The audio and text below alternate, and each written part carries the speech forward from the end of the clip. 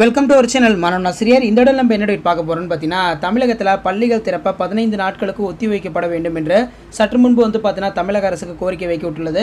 ஏற்கனவே வந்து பார்த்தீங்கன்னா தமிழகத்தில் ஆறிலிருந்து பன்னெண்டாம் வகுப்பு மாணவர்களுக்கான பள்ளிகள் திறப்பு ஜூன் பன்னெண்டாம் தேதியும் ஒன்றுலேருந்து ஐந்தாம் வகுப்பு மாணவர்களுக்கு ஜூன் பதினாலாம் தேதியும் பள்ளிகள் திறக்கப்படும் சொல்லி பள்ளி கல்வித்துறை சொல்லிட்டாங்க. ஸோ இருந்தாலும் பல்வேறு ஊடகத்தலங்களில் வந்து பார்த்தீங்கன்னா பள்ளிகள் திறப்பை மீண்டும் வந்து பார்த்தீங்கன்னா பதினைந்து நாட்களுக்கு ஒத்தி வைக்க வேண்டும் அப்படிங்கிற மாதிரி கோரிக்கை வந்து பார்த்தீங்கன்னா வைக்கப்பட்டுள்ளது. ஸோ அதன் அடிப்படையில் வந்து பார்த்திங்கன்னா தமிழகத்தில் கொளுத்தும் கோடை வெயிலை கருத்தில் கொண்டு ரெண்டாயிரத்தி இருபத்தி மூணு இருபத்தி நாலாம் கல்வியாண்டில் பள்ளிகள் திறப்பை தள்ளி வைக்க வேண்டும் என்று கோரிக்கை எழுந்துள்ளது. பள்ளிகள் திறப்பு. தமிழகத்தில் நிலவும் கோடை வெப்பத்தால் மக்கள் வெயிலில் தலை காட்ட முடியாத நிலைக்கு ஆளாகியுள்ளனர். சில இடங்களில் அதிக வெப்பத்தால் பகல் நேரங்களில் வெப்ப அலை வீச்சு வருகிறது. இந்த வெப்பம் ஜூன் மாதம் வரை நீட்டிக்கும் என வானிலை ஆய்வு மையம் தெரிவித்துள்ளது. இந்த நிலையில் பன்னெண்டாம் தேதி பள்ளிகள் அறிவிக்கப்பட்டபடி திறக்கப்படும் என்று பள்ளி கல்வித்துறை அமைச்சர். மெயினாக சிக்ஸ்த்துலேருந்து டுவெல்த்து வரைக்கும் ஜூன் டுவெல்லும் ஃபஸ்ட்டுலேருந்து ஃபிஃப்த் வரைக்கும் ஜூன் ஃபோர்டீனும் வந்து பார்த்தீங்கன்னா திட்டமிட்டபடி பள்ளிகள் திறக்கப்படும்.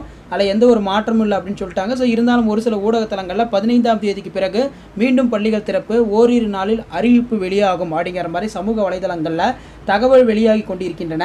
ஸோ அதன் அடிப்படையில் வந்து பார்த்தோன்னா இதற்கு மத்தியில் கோடை வெப்பத்தை கருத்தில் கொண்டு பள்ளிகள் திறப்பை தள்ளி வைக்குமாறு கோரிக்கைகள் எழுந்துள்ளது.